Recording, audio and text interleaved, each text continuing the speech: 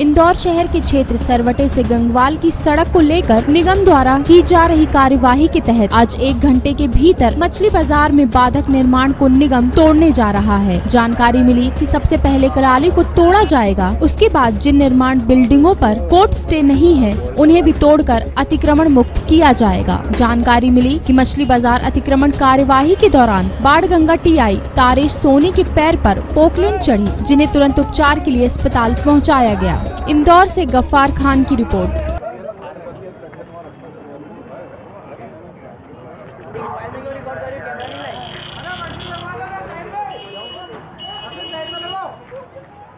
वाड़ा block के ग्राम डुंगरिया में एक विशाल जनसभा को संबोधित करते हुए कमलनाथ ने कहा कि प्रदेश व देश की जनता ने जब जब अपनी प्रमुख मांगों को भाजपा सरकार के सामने रखा है, उन्होंने समस्याओं के समाधान की जगह जनता को एक नया नारा थमा दिया है। पिछले चौदह सालों में प्रदेश के मुख्यमंत्री ने साढ़े सात हज़ार घोषणाएँ की, लेकिन कितनी घोषणाएँ पूरी हुई, इसका कोई हिसाब नहीं। इसलिए यह ज़रूरी हो गया है कि मामा जब भी आए, जनता को पूरा का पूरा हिसाब दें। आगे की आगे देखी जाएगी। सांसद ने ग्राम डुंगरिया के नागरिकों से मिलकर प्रसन्नता व्यक्त करते हुए कहा कि विगत सैतीस वर्षों में सभी के सहयोग से छिंदवाड़ा का विकास हुआ है और यह सिलसिला सदैव बना रहना चाहिए। इसके अलावा हर्रई विकास खंड के ग्राम सौंधनी में आयोजित जनसभा में कमलनाथ ने कहा कि जिन्हें देश व प्रदेश चलाना नहीं आता, उन्होंने मुँह चलाना सीख लिया है और झूठी घोषणा और झूठे वादों से जनता को गुमराह करने में जुट गए हैं। सांसद ने बटका खापा में भारिया बहुमूल्य ग्राम चिलक में आयोजित जनसभा के दौरान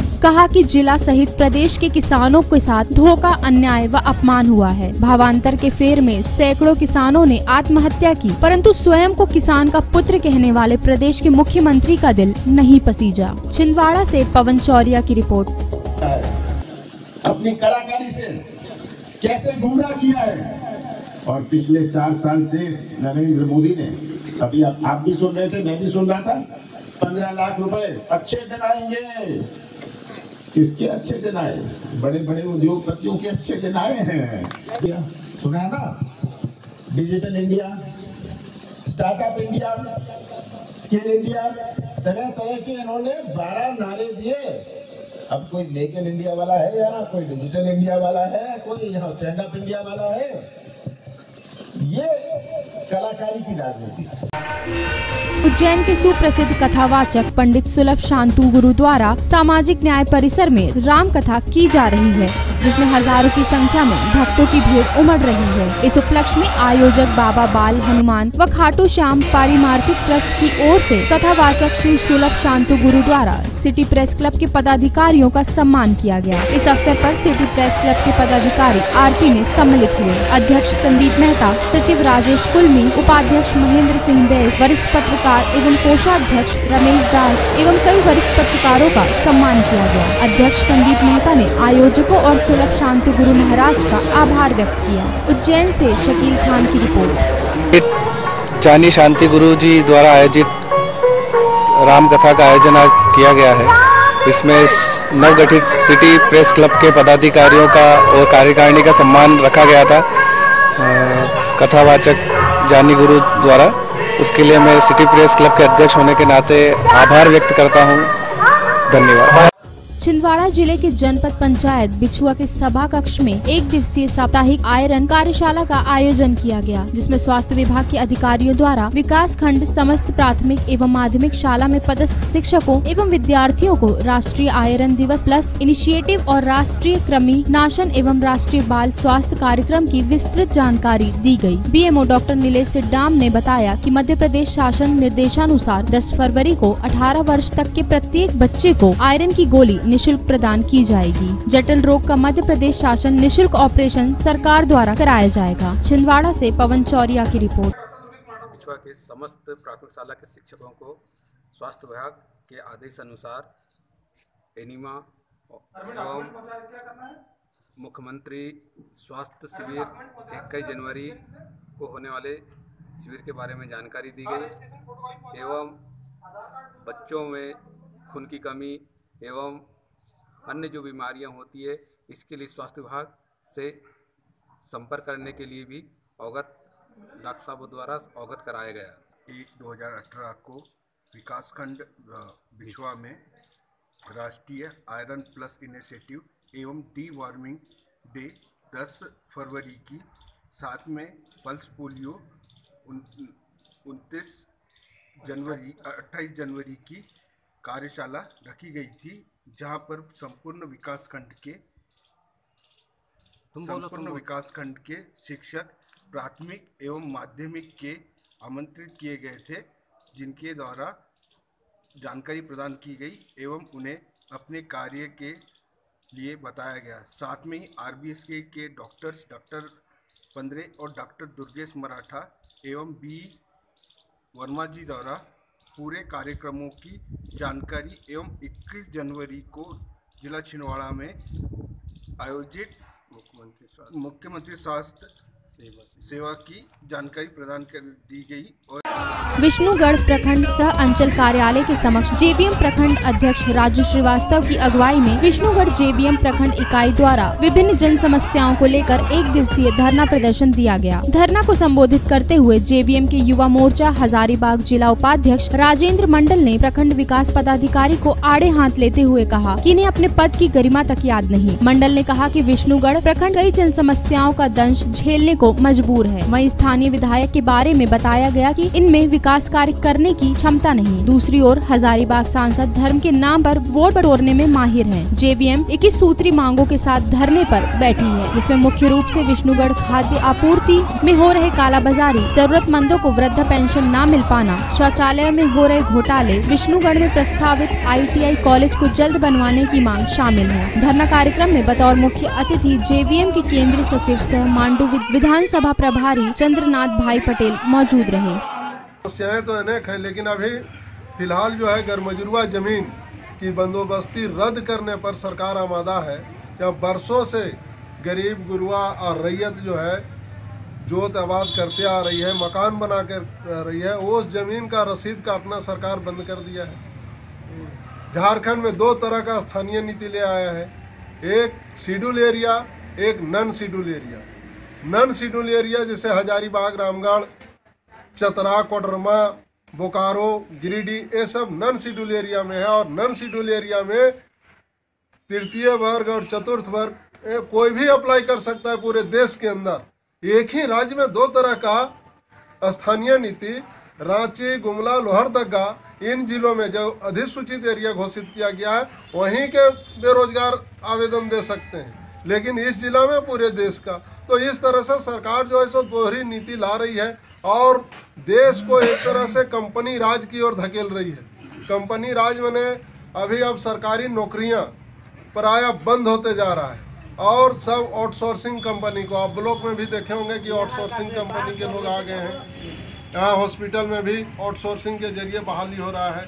आउटसोर्सिंग के ज़रिए बहाली इसलिए दे रहा है सरकार कि जो लोग अस्थायीकरण करने की मांग करते थे कि हमारा रोज़गार जो है सो अस्थायी कर दिया जाए और आउटसोर्सिंग के ज़रिए स्थानीय लोग स्थायीकरण की मांग नहीं कर सकेंगे। इस तरह से बेरोजगारों पर एक तरह से सरकार जुर्म ढाते जा रही है।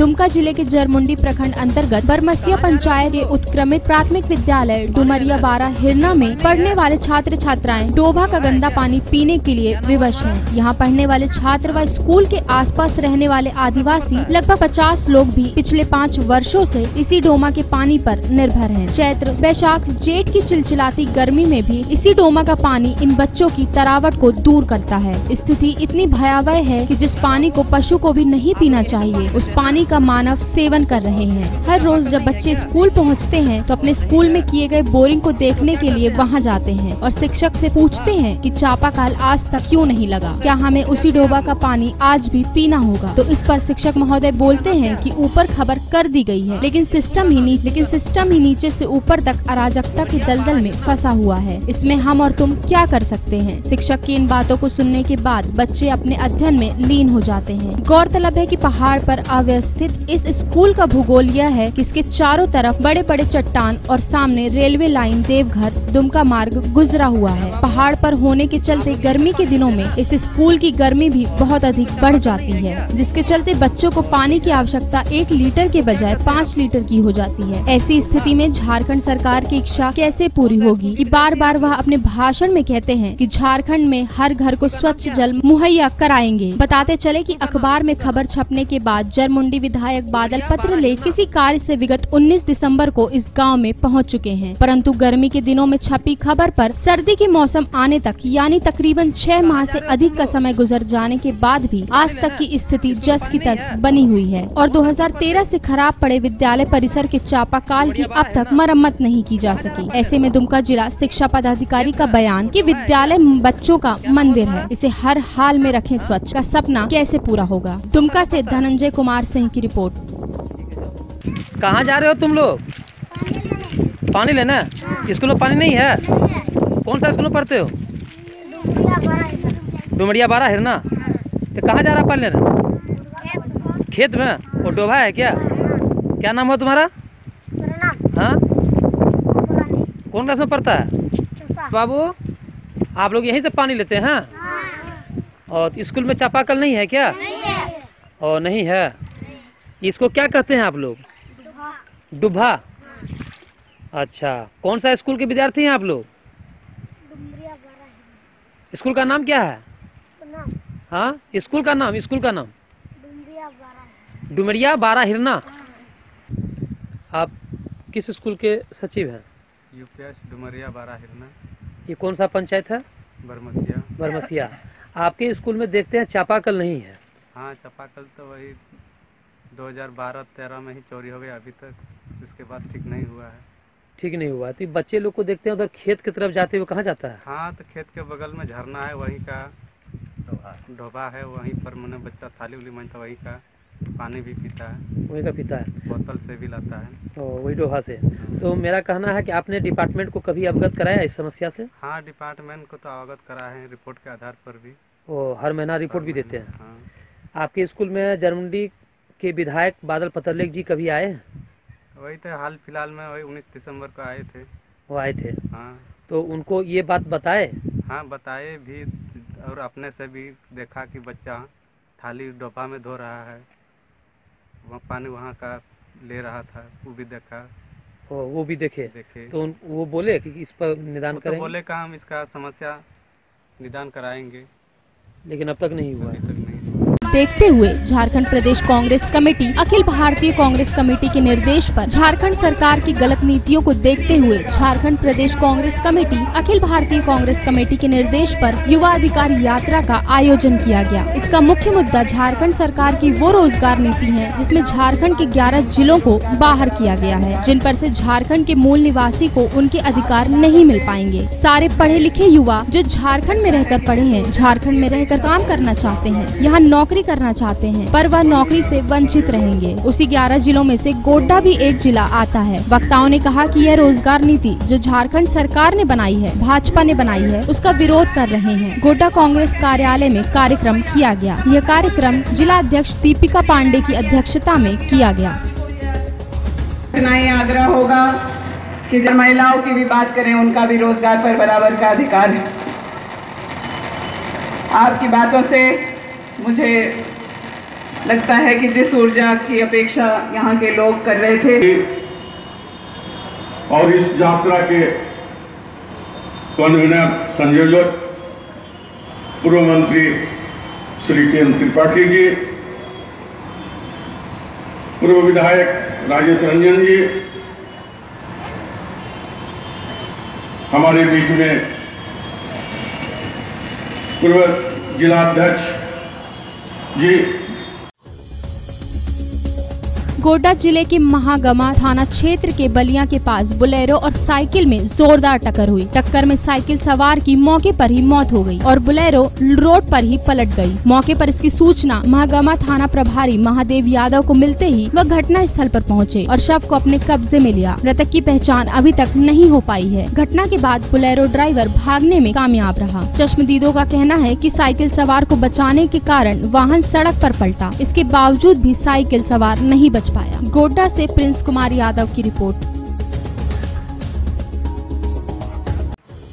उज्जैन ज़िले के बड़नगर से रतलाम जा रहे पिकअप वाहन का टायर फटने से वाहन अचानक पलट गया, जिसमें तीन लोगों की मौके पर ही मौत हो गई। घायलों को उज्जैन जिला चिकित्सालय में भर्ती कराया गया है। घटना की सूचना मिलते ही पुलिस मौके पर पहुँची। बताया जा रहा है कि सभी लोग मजदूरी करने के लिए रतलाम जा रहे थे। उज्जैन से शकील खान की रिपोर्ट।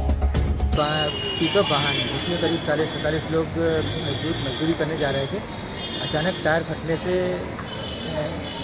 गाड़ी पलटी खा गई। जिसमें करीब तीन लोगों की मौत हो गई है और चालीस चालीस चालीस करीब लोग घायल हुए हैं, जो सिविल अस्पताल में लाए हुए हैं, जिनका इलाज चल रहा है। ठीक ठीक।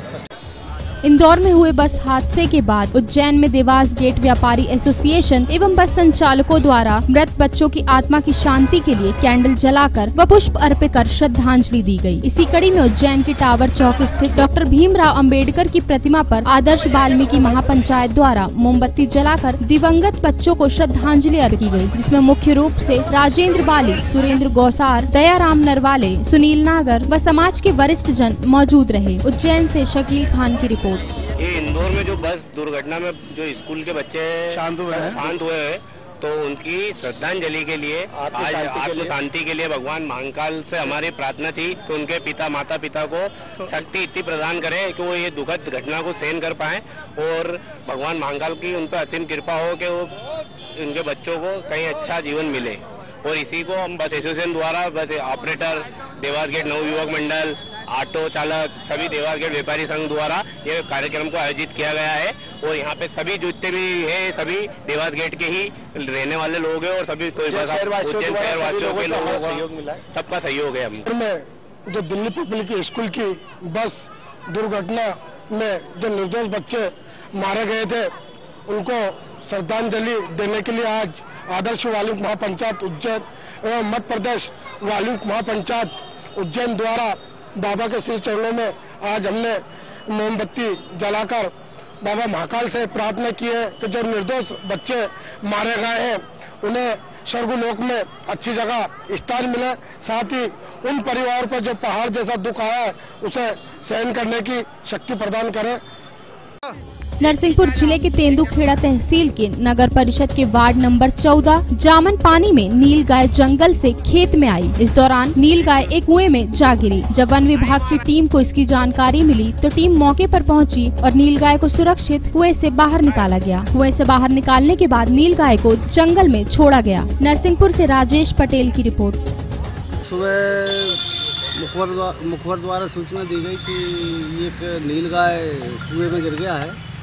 तो उसको हम लोग तत्काल हमारी बनवा की पूरी टीम तेंदुखेड़ा की सब लोग गए और उसको निकाला आराम से, निकाल कर उसको देखा तो उसको कोई चोट वोट नहीं थी, काफ़ी भीग गया था।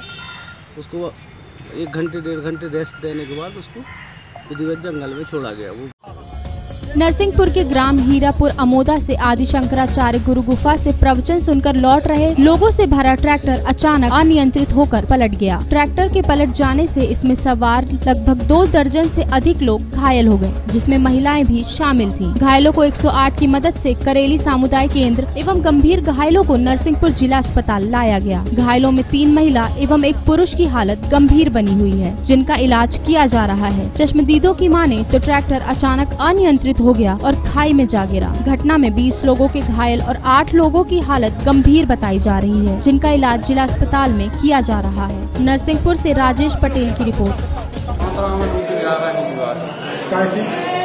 ट्रैक्टर से पलटा था वो।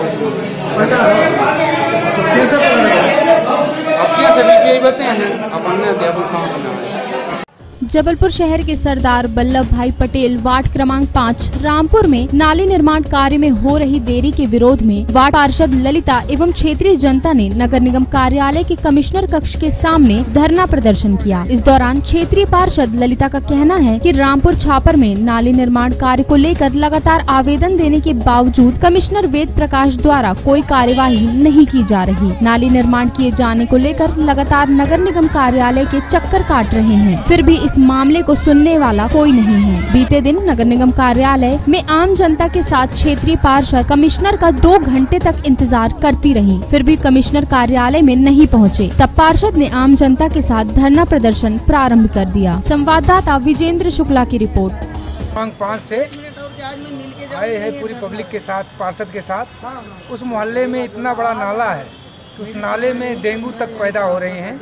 गंदगी है जल भराव होता है बरसात के टाइम में लोगों के घर में पानी घुस जाता है और लोगों का अनाज सड़ जाता है कपड़े खराब हो जाते हैं और आए दिन इलेक्शन होने के टाइम में लीडर आकर के कहते हैं इस समय बन जाएगा अगले टाइम में बन जाएगा आज तक वो नाला नहीं बना जनता पूरी परेशान है। गंदगी का वहाँ इतना मातम है कि वहाँ खड़ा नहीं हुआ जाता पब्लिक से जो कि बस्ती के बीच में है। हम अपने पार्ट से आए हुए हैं शंकर सरदार सरदार वल्लभ भाई पटेल से। वहाँ वाट वार्ड क्रमांक पाँच से। हमारे यहाँ पानी बारिश के दिन में नाले का पानी पूरे घरों में घुसता है गरीब महिलाओं के उसमें। और पूरे नया गाँव के जो पॉश एरिया की पूरी पानी हमारे ही क्षेत्र में आती है बारिश के समय में। वो पानी के लिए हम बहुत तरीके से परेशान हो चुके हैं। गरीब महिला हमारी गरीब बहनाएँ जितनी आई हैं उनको बहुत प्रॉब्लम है। इसका निराकरण करा जाए।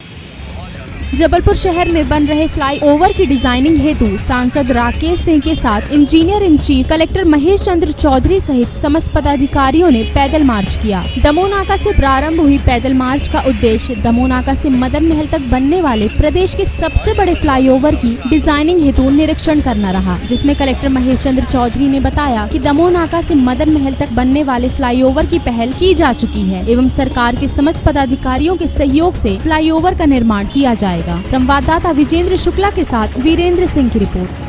और जबलपुर शहर में जो फ्लाई ओवर बनने वाला है और डी पी आर इसकी तैयार हो रही है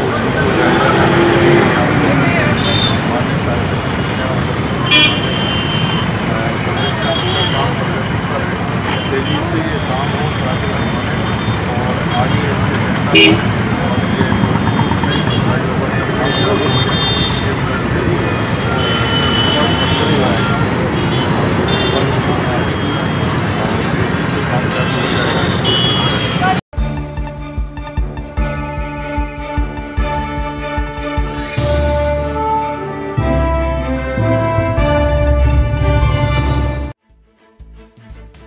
इंदौर शहर के क्षेत्र सरवटे से गंगवाल की सड़क को लेकर मछली बाज़ार अतिक्रमण कार्यवाही के दौरान बाढ़ गंगा टी आई तारे सोनी के पैर पर चढ़ी पोकलेन घटना के घटना में घायल हुए बाढ़ गंगा टी आई तारे सोनी को तुरंत ही उपचार हेतु अस्पताल पहुँचाया गया, जहाँ उनका इलाज जारी है।